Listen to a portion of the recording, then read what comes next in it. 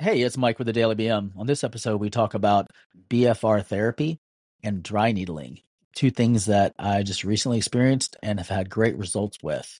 So, hope you enjoy this Man Cave Monday episode of the Daily BM. And thanks for listening. And don't forget to like and subscribe.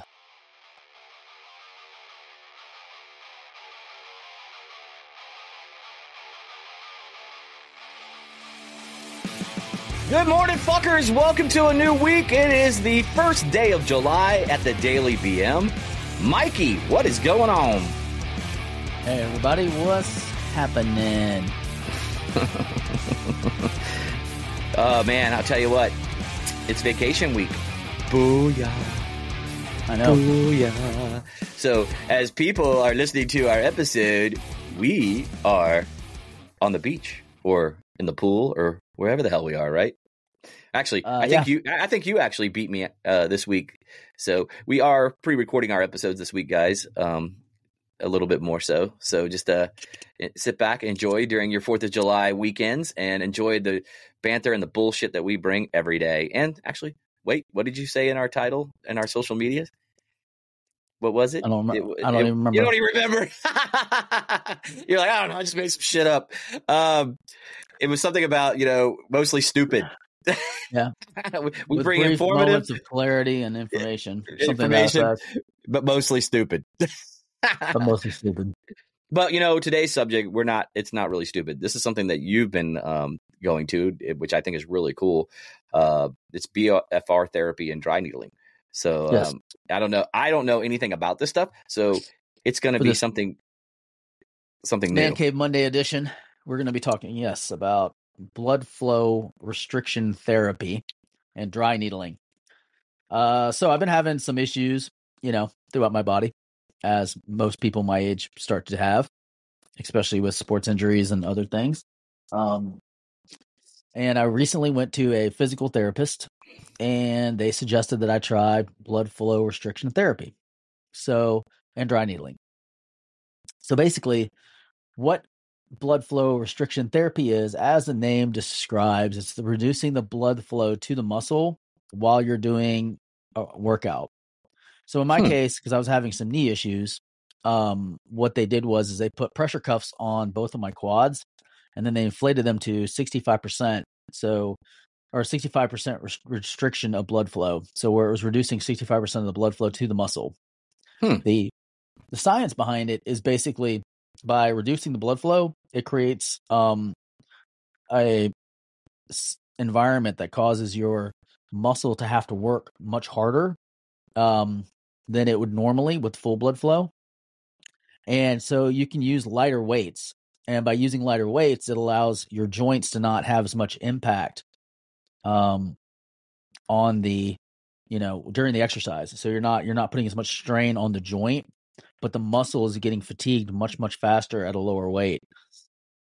And it was uncomfortable at first um when they inflated it because it's like having a pressure cuff on your arm, you know, when you're getting your blood drawn right? uh it's the same premise as that so basically you know they inflate it and then they just leave it inflated and they put one on each leg and then you get up and you you know my first exercise i performed was just squats uh you know weighted squats and you know i only had to use uh 40 pounds instead of the much heavier weight that i normally do because um it was a lot more challenging to do and then you know the next set of exercises was a split squat, which that was extremely challenging. And the fact that, you know, your your muscles are already fatigued from the original squats and now you're doing split squats. So they were like they were screaming at this point.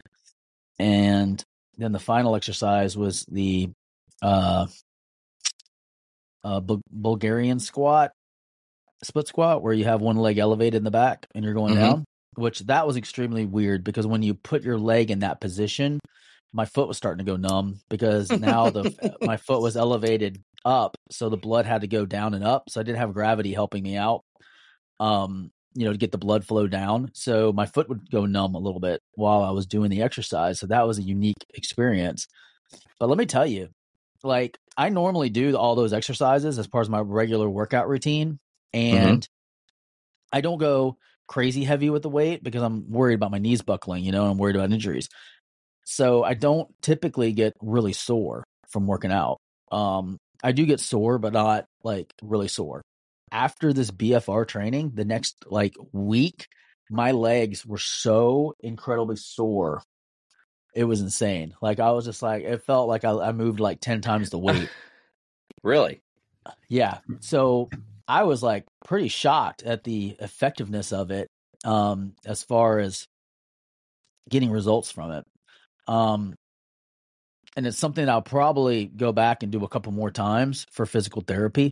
Um, now I went in because I was having so the issue I was having with my knee was I was getting like an acute pain behind the knee pad and or behind the kneecap and it would feel like it's locking when I would move and then it would get really stiff when I was sitting for a long period of time. So what they determined is is that I actually you have a fatty pad that sits behind your um what is it the uh, patella tendon okay. is that what it's called? I believe yeah. so. So it sits behind there, and basically what it does is it keeps that tendon from slipping into the joint and getting frayed or you know messed up. But what happens when that pad gets pinched when you like hyperextend or you do a movement that causes that fat pad to get to get inflamed mm-hmm. is now it starts to put pressure um not only on the kneecap but also on the or not on the knee but also on the tendon which causes that popping you know locking and other issues. So what they recommended for that was the next thing, which was dry needling, which is the Western version of acupuncture. Hmm. The primary difference between dry needling and acupuncture is that you know acupuncture relies a lot on like um, meridians in the body for mm-hmm. like your different points of you know like oh we're gonna put it between your toe because this is the nerve that goes through your thing and it's you know your chi and your um your chakras, you know, basically. So it's all the spiritual. There's a lot of spiritualness to it. And there's a lot of like, oh, this will make your digestion better and things like that. Western medicine's more like direct. So they put it directly into the, you know, fat pad in my case, or they put multiple needles around it. And they're about, I would say, an inch to an inch and a half in length. And then, then they're the diameter of like a insulin needle. Okay. So, you know, it goes pretty deep, which is pretty wild. Um, it actually, you know, he touched the bone a couple times. Um, I bet he when did. He, when he went in there, and it. Should I be jealous? yeah.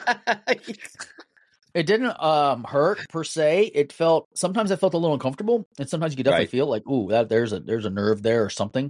But what it does is by penetrating that, you know, area, it causes um, local inflammation to bring more blood flow to the area, which then clears it out quicker. And I gotta say, after my first treatment of that, like I did that before the the uh, blood flow restriction therapy. Right. Um, after that very first treatment, I noticed like a ninety percent improvement the very next day. Really? And yeah, it was huge. Like it was a huge difference. I was shocked at like the level of like how much difference it made. Um, I've now had three therapies of that and my knee pain is completely gone. I have no knee pain, period. Whatever. Um, you know, the yesterday they actually cleared me to start going ahead and running again. Uh, they okay. said, you know, take it slow and work your way up. Don't go, you know, don't do full send off day one because that'll just lead to re-injury. Right. And um, it, it worked really, really well. And they basically, you know, they insert the needle all the way through the fatty fat, fatty pad into the muscle or into the tendon, and it just stimulates that area. So it was a pretty unique experience um, that I didn't know anything about. I mean, I've had acupuncture before, you know, where I went in and they're like, I was when I had my knee problem, they put a couple in my knee, but then they also put some in my forehead and my ear and my foot and my hand, and you know, they put the little needles, and they were very they weren't deep. They were very like superficial, like basically just in like the skin in the in the pore. Like it wasn't like deep at all. Like maybe just a, t- just centimeter. It was just a tip. Yeah. but those helped as well, but I'm not 100% sure if it was not a placebo effect where I was just like, oh, I feel better because I did this, as opposed to actually helping. Um, and that's probably where the debate comes in between you know acupuncture and deep needle, you know, dry needling. Um, is one is you know specific deep into the muscle or or joint or tendon, not joint, but muscle tendon or you know fat pad that's having the issue, and the other Right. one is more in line with your energies and your you know the flow, the natural flow of the body. Um, I've done both and I've had success with both, but I was really impressed with the dry needling. So if you're having joint pains, aches and pains, it might be good to go see a physical therapist first before, you know, you go under the knife, so to speak. Because they recommended I had full knee replacement on both my knees uh, four years ago. Um, and I decided that I wanted to try other things before I get there. So when you said you had you got recommended for full knee replacement, what was the reason for the knee replacement? I mean, was I mean all your tendons are fine and all your ligaments, Arthritis. right? Oh, you Yeah, had arthritic knee. Yeah. Uh, gotcha. Okay, so different Yeah. scenarios. So people that have injuries, obviously, like like for instance me, that's going to have to have surgery on the meniscus. Uh, you can't avoid that because I have a frayed mop meniscus. I You have know? no idea. I'm not a doctor on that, so I don't know. But I mean, Yeah, there's I'm- been I'm, just curious what the what your people would say next time you go and going, hey, you know what? You know, if you have an injury, I'm just curious. Maybe bring that up. Yeah. I mean, I don't know. I don't know what the uh I don't know what they say, but I can ask. Yeah, I'll, I'll definitely ask and then report back. Um I don't know what the meniscus with the meniscus phrase or tears. Um Yeah, I was gonna it, say uh, because they're because they're totally because I mean they're, they're you know the way mine for instance I'll just use mine as an example. Mine was basically frayed like a mop top you know so it got frayed like a rope would fray. Yeah. um it didn't it, it didn't necessarily tear it frayed open. So Right. which is which is not uncommon you know what I mean? But so but they got to go in there and smooth it out and clean it out you know and get it back to the way it is. Um which you know, it's still I, I don't he wasn't really specific. I mean, I would assume it's because the recovery time is a lot less. Um, that it's not as quite as bad as a complete tear, obviously across the tendon itself. You Yeah. know, because then Yeah. then you're then you're talking about reattachment and all that other kind of shit that goes on. You know, Yeah, I think if it's a complete tear, then you have to have the reattachment pretty much. But what I just did a quick Google search on is if it's just phrase and things of that nature, um, you can rehab it through physical therapy, and the recovery time is usually six to eight weeks. right? You're listening to the Daily BM. Um, yeah, and and he and he thinks that just based on my you know um just on how I am and things of that nature, that the minimal two, the most six is what he was thinking. yeah, Um, you know, but that just depends on how fast my body recovers from it. right. So you know, I mean that's all up in the air.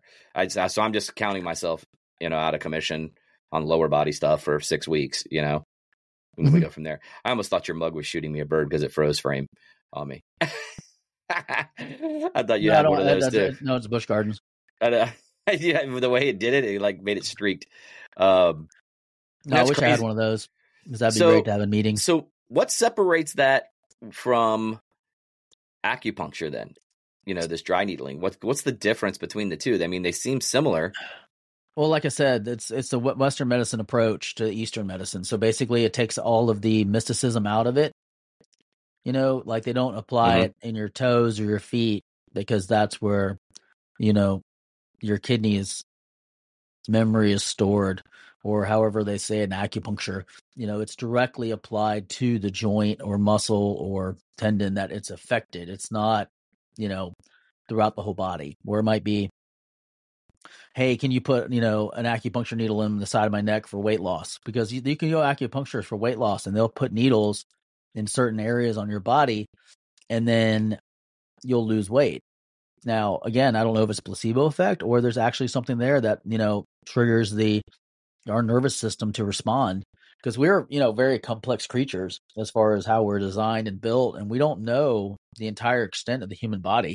You know, Right. we don't we don't know how you know a tweaking one nerve can a- affect the entire body does that make sense so no, it makes total sense. it's it's basically just they cut all the mysticism out of it and then they do direct treatment and it seems to be deeper too. Like it goes deeper than acupuncture. From you know my my uh experience.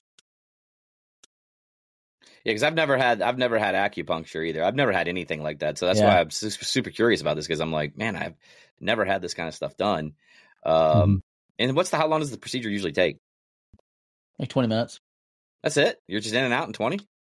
Yeah, with the acro- with the uh, dry needling, yeah, it's quick. I mean, it's not And hard what at about the, what about the BFR? The BFR is just a workout. So like however long the workout is, if it's twenty minute workout, it's twenty minutes. Oh, If it's okay. Thirty minute workout, thirty minutes. Like you just do a full workout for whatever that system is, like whatever whatever you're having problems with. So like since mine was knee, you know, I did um like four sets of squats, uh four sets of uh,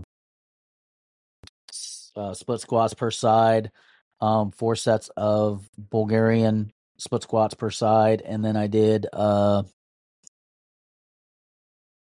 uh, I did something else, but I can't remember what it was. Um, Rub your wiener yeah, pretty much. for sure blood that's what it flow was. for blood Yeah. flow restriction. Yeah, yeah, I know. I said I was when I was there. I was like, "Hey, can you put one of these around my neck so I can feel more like home?" Can you please, yeah, a little tighter, please, a little tighter. Yeah, there you are. Yeah. There's the spot. There's the spot. Too funny, man. That's awesome, man. So I, you know, I'm gonna definitely have to uh, look into this stuff, man, a little bit more, man, for even myself moving on down the road. Right now, I don't really have, except for the injury, I don't really have Mm-hmm. any particular pains. Let- Now, let me ask you: You can do this in all part before you know we cut out here. Is there is there other parts of the body that you can do just besides the knee? I mean, is it like everything's pretty much on the table, or is there limitations to what you can Um, and can't pretty do? much. I think what I think what dry needling is pretty much any any joint or muscle group. Um, So like a bicep, a forearm, a yeah, tendon for tendonitis. Yeah. I mean, that might be good, yeah. right? Like I'm going back for uh, my Achilles um, to have some dry needling done on my Achilles tendon because of having some issues there. So I was going to have that done. Um, uh, so that's yeah. With dry needling, that's as far as I know on that. Now with acupuncture, they have a lot more treatment stuff for that. Like they can do osteoporosis, osteoporosis. Can't talk. Nope, you had it Um, right. They You had can it do, right. They can do like helping with smoke, stop smoking. They can do with um, aches and pains. Um, they can do eating disorders. I mean, there's a million different things that you can get acupuncture treatment for. Um, that you know they don't really do for dry needling because again, it's Western versus you know Eastern, Eastern or methodology. methodology, right? So let me ask two Yeah. two questions. So, uh, you said different groups, so I would assume like you could do the, the the forearm tendon for tendonitis into the lower Right. part of the bicep, things Yep. like that. So, does the pricing vary based on the body group or or the muscle group or anything of that nature, or is it pretty much standard pricing all the way across the board? So I don't know what it is across the board for other areas because it's just a flat rate the place that I go. Um, oh, okay. for the entire PT session, basically. And how much is that per Um, session? It it was pricey for me because uh, my insurance did not doesn't kick in until I spend sixteen hundred bucks, so it was two hundred and sixty bucks a session, a one hour session. Yeah, It's a nice price now tag, you can man. you can do it in thirty. You can do it in thirty minute sessions. Um, so it's half that, and then you just don't do as 130 much. bucks. It's 130 bucks Yeah. for 30 minutes. Yeah, but I mean, if it you know fixes the problem, makes it go away, and takes you out of pain, what's that worth? Yeah. Well, Uh, you know, anytime. it's eh, a lot- yeah. It's a lot cheaper than a six thousand dollar surgery. You know, with Yeah, you that- could have right. complications or Or anything die. like that. So yeah, you could. I mean, there's always You that. know? There's always that chance. I mean, anytime you get you know put under, there's always that chance you. Hundred percent. come out of it. Yeah, So I mean, that's you, just you could be you, you could be put under and they chop off the wrong leg on accident because they get your chart mixed up. And then just like that, I became a millionaire. Yeah, one legged millionaire pirate. I'm a one legged. I'm a one legged fucking peg leg pirate, but I'm a rich pirate, bitch. Yeah. So, so yeah, I've asked our listeners if you've had any experience with either one of those two. If you'd like to write in and share your experience, that would be great. Yeah, and, And, uh, and I will if you let you know find somewhere. Yeah, and, and trust me, you get what you pay for. So don't go to some low budget place for like thirty bucks because you're probably not going to be happy with the result. And you know, Well, or mhm. Well, things of that. again, that's that's my that was on my medical insurance, so I don't know what it'd be like for somebody that just has like a like a copay insurance or right. because because my insurance is basically I have I have a sixteen hundred dollar limit per year, and then everything over sixteen hundred bucks is covered one hundred percent. Gotcha. So I don't have to do the 80 20. I don't have to do the co-pays. right. You just have a flat rate, and then boom, you made Yeah, you meet and you meet it, and everything's covered at 100. percent Gotcha. And then my my insurance is also what you call it's HSA compli- compatible, Mhm. which means uh, it's a health savings account. So basically, what I do is is every because, and this is a whole other topic, but because we're business owners, I set up an HSA because you can write up to six thousand dollars a year. I think it's actually seventy two hundred this year, but my, it was six thousand previously. That you can write off of your taxes if you deposit into an H, a health savings account HSA, Mhm. and you can pull from that for any type of qualified medical expense. So it's anything that's related to medical. Um, so basically, it's a good savings account that's tax tax free. Uh, you don't get taxed on it, and you can take it off of your income, uh, much like a retirement account. And then you can use that for expenses. So it's basically not, in my mind, it's not like I'm spending two sixty three out of my pocket. This paycheck, it's money that I've saved up over the years in this health savings account for this purpose. Um, and you know, there's certain eh, exercise equipment and stuff like that you can buy. You know, so like there's things that I've I've purchased. Um, for rehab that I was got just I just got a note from my doctor or my physical therapist saying I needed this piece of equipment and then I was able to buy it through my HSA and use that that money for that purchase because it was part of my rehab.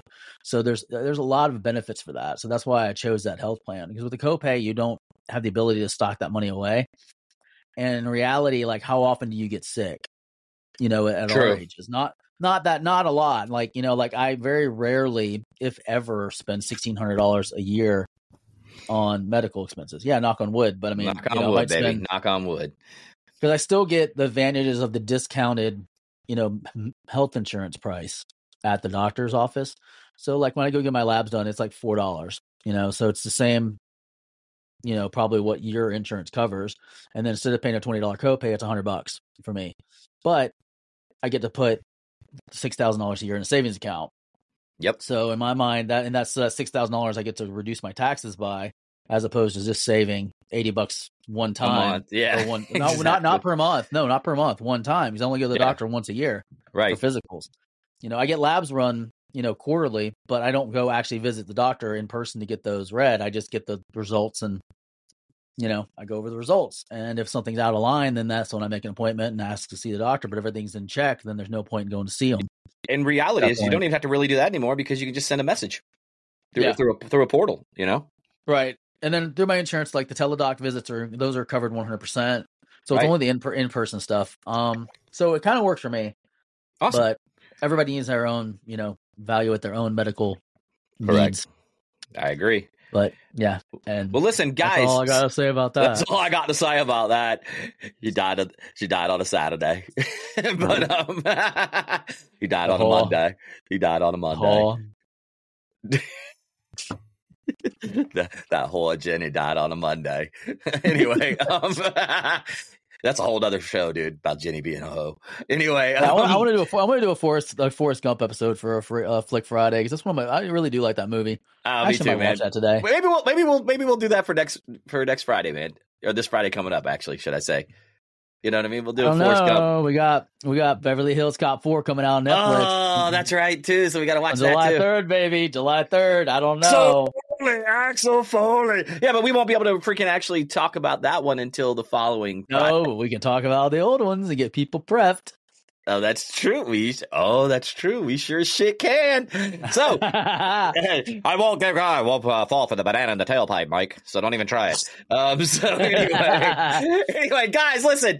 Don't forget if you have any BFR therapy or any type of dry needling, go straight to Mike since he's done it. I have not. I'm just going to answer back. I don't know what the fuck you're talking about. So until I read a little bit more up on it and do it myself, but I'm really intrigued to actually give it a shot. Um, that being said, head over. Yeah, Mike thinks it's great, so it works for him. So literally, he'll talk Mhm. about it all day long with you. Trust me. Um, so that being said, head over to the dailybm.com where you can follow us on all our socials, YouTube, Rumble, subscribe over there and like, please help us out. Uh, don't also forget to head over to masondangerbeardco.com where you get 20% off and just use the promo code dailyvm. Mikey, you got anything before we get out of here this glorious Monday? Uh, no, I think everything is great. No, everybody needs to have everything's a wonderful great. day. Everything's great, guys. I'm, I'm good. I'm good. I'm seriously good. have, a, have a great week, and I'll probably be having a uh, margarita in your honor. Hey, margarita. Anyway, yeah, we'll see you guys on the flip side. See you tomorrow. Deuces.